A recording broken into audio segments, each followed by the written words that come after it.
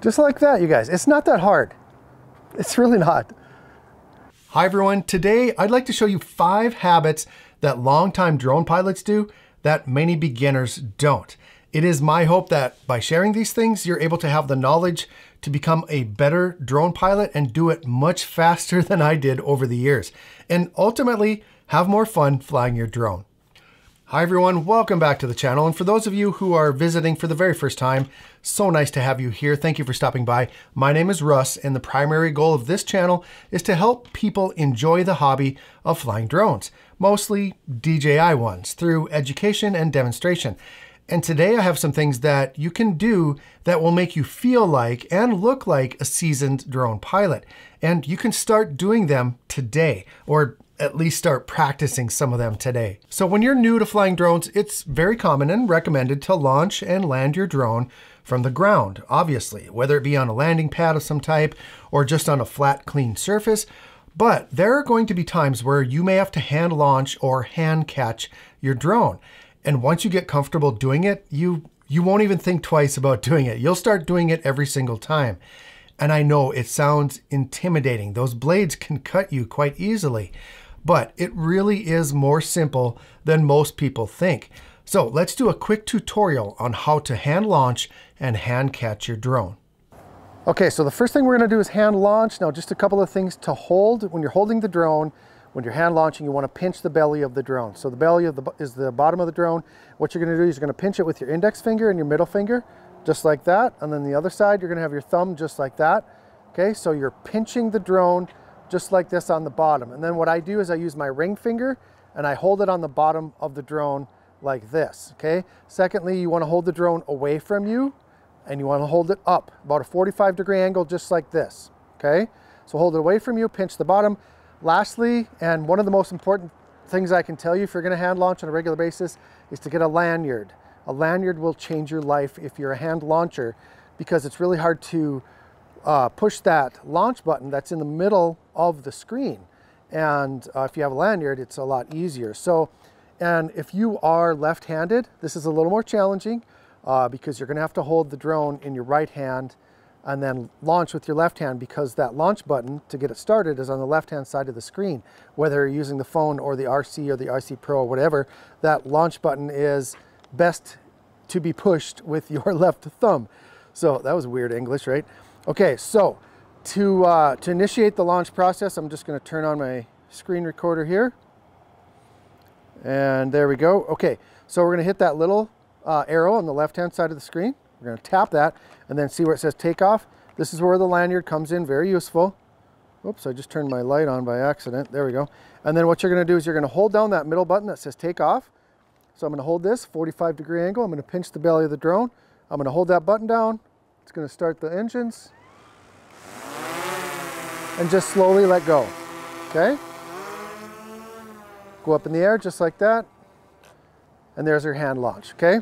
Uh, now, when you're hand catching, there's a couple of things. A lot of people think it matters if you have the drone facing away from you uh, or you shouldn't have it facing at you. That's nonsense. It doesn't matter. Leave your obstacle avoidance on. Don't turn off your obstacle avoidance. Then you don't have to worry about it running into you if you inadvertently hit one of the sticks or something like that. But, uh, but you either want the drone facing directly away from you or directly at you. You don't want it facing perpendicular to you. So you don't want it facing, you know, right or left because it's really hard to grab it. It's kind of awkward like that. So you want it um, facing either away or directly at you. So I'm gonna bring it down here. And when you reach up for it, don't reach for it. Put your hand out. As soon as it gets down to your hand, touches your hand, then you're gonna reach up and pinch it, just like you did when you launched. You're gonna pinch the belly of the drone you're gonna hold that stick down the whole time, okay? Keep holding the stick down. You'll see, just like this. Let's bring it all the way down. Okay, I'm gonna turn it to face me. You're gonna hold your hand here for a few seconds so it pauses. Keep holding the stick. It will come down if you hold still, just like that, okay? Now I will say this, catching it when it's facing you is a lot more intimidating than catching it away from you. I don't know why. The propellers are the same distance away from your hand, from your face, or whatever. So just know that when it's facing you, it's a little more challenging, okay? But hand up, wait till it touches your hand, then reach up and pinch the belly. That's all there is to it, you guys. Like I said, do this 10 times for a couple of days. It's second nature. So, uh, and it's so much more convenient. You don't have to worry about finding the perfect spot to launch from. You can launch from pretty much anywhere. So did you know that most experienced drone pilots do not use intelligent flight modes when they're recording videos and photos? Except for maybe waypoints. Waypoints is a different story. A lot of drone pilots of all levels use waypoints, and I'm so happy they brought it to the Mavic 3. It's it's amazing. It's so powerful. It allows you to get repeated flight paths over and over again. But for the most part, seasoned drone pilots fly their missions manually. You see, having that precise control and moving the drone in exactly the way that you want it to go and move the camera exactly the way that you want it to move, it, it just can't be beat by automatic modes. Plus, it kind of brings this sense of pride, I guess, when you get a beautifully done shot. Now, there's only one way to become proficient at this, and that's with a ton of practice.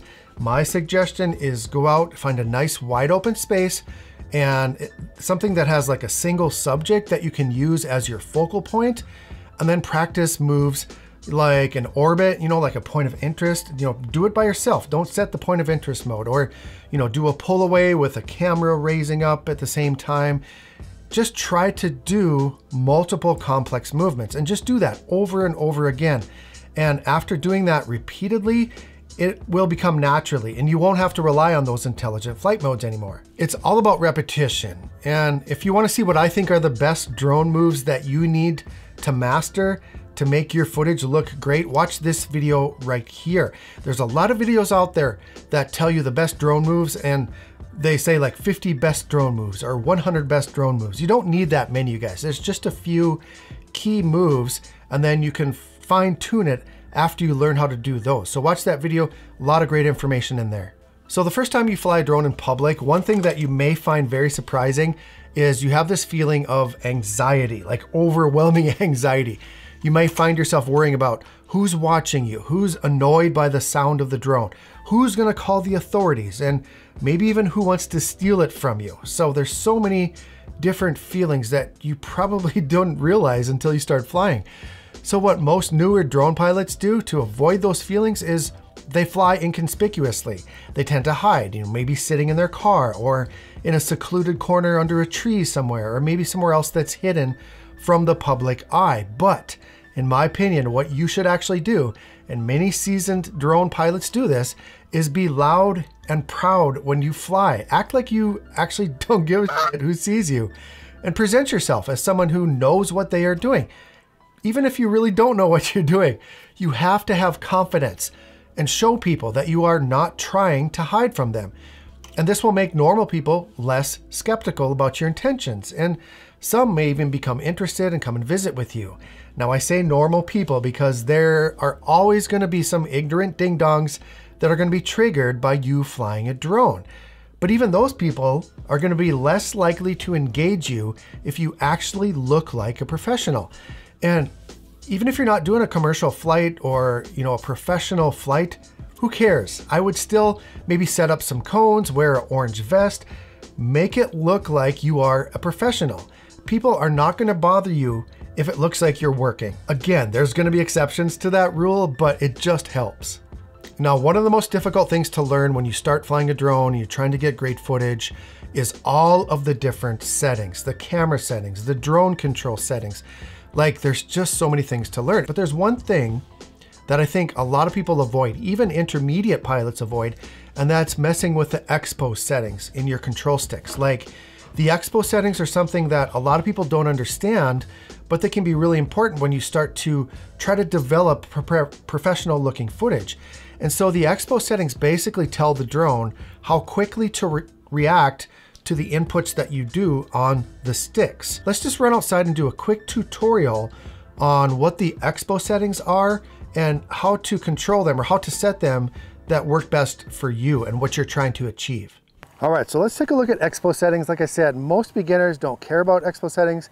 They have no idea what it does and uh, just don't want to deal with it. So I'm going to show you just to help give you a little sense of how this can make a difference when you're making, trying to make cinematic footage, okay? So we're going to click on the three little dots, upper right hand corner, and then you'll go to control, and then you'll click on gain and expo tuning, and then you're going to scroll down. We're going to ignore all that for right now. And right there is the expo settings. So you can see right now, my pitch roll is set to 0.27, my yaw is 0.19, and my up and down is 0.1. And that's where I usually have mine. Um, and it can vary. It's really not that big of a deal if it's off by a few, but that's what I use for my settings. But I just want to show you right now the difference, um, what this does when you turn all these down. So let's just turn the pitch and roll down. And now the pitch and roll is going to be your right stick for most people. Okay, right stick is going to make the drone go left and right. So I'm just going to show you when I barely touch the stick. I'm going to push to the left. Okay, and then I'm going to push to the right. See how the drone reacts? Okay, now I'm going to turn that all the way up. I'm going to go all the way up to 0.9. Okay, now watch when I push, just barely touch the stick to the left. Whoa, barely touch it to the right. Okay, see that? That's really, really sensitive.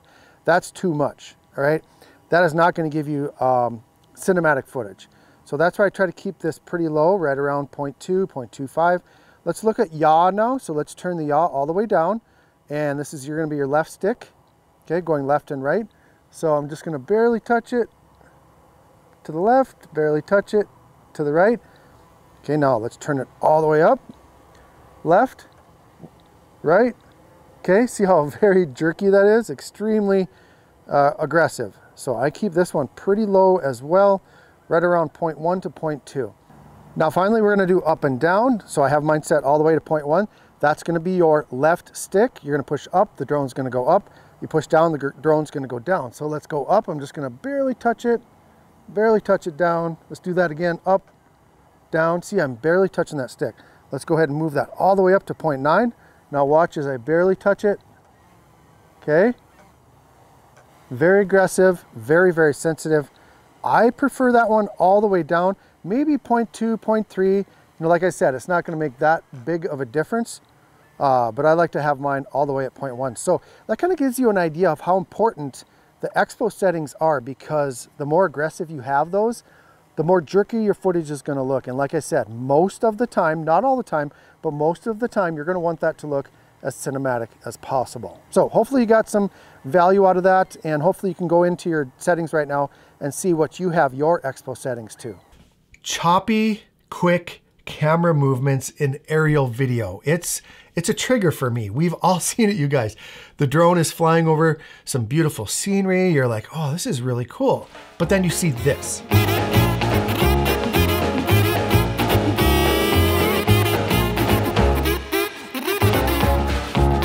Or this.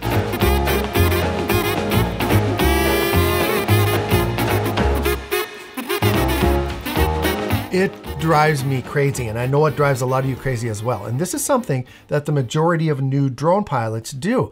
And when you see it, you know you're watching a video from someone that is just learning how to fly a drone and just learning how to capture aerial video.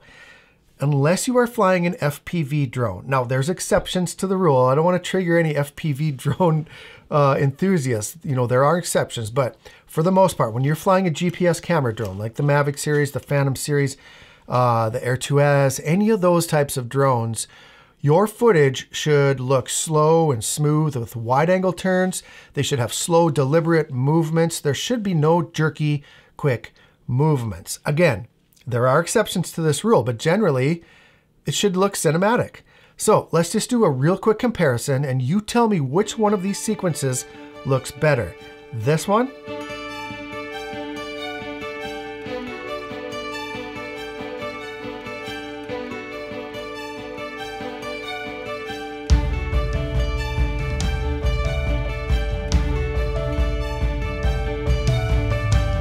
or do you prefer this one?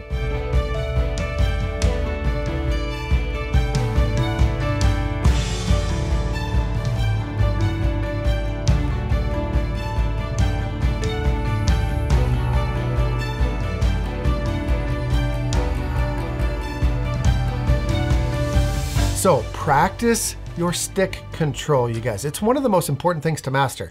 And the more you do it, the easier it will become. Once you make it a habit, you will start to notice bad drone footage more when you see it. Hey, comment anything you think professional drone pilots do that new ones don't.